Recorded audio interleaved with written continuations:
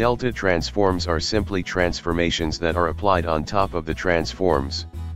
In absence of delta transform you have to overwrite each keyframe by changing its location again and again by pressing I and selecting location keyframe depending upon the number of keyframes you have created. But this makes it easy if you want to change the initial location of any axis and make it permanent till the last keyframe.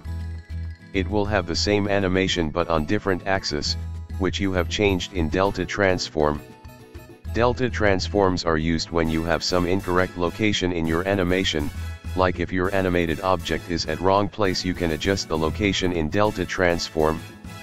If you don't use delta transform for such repairing, you have to edit a particular keyframe by overwriting them. Delta transforms are particularly useful in animations. For example, you can animate an object with the primary transforms then move them around with delta transforms.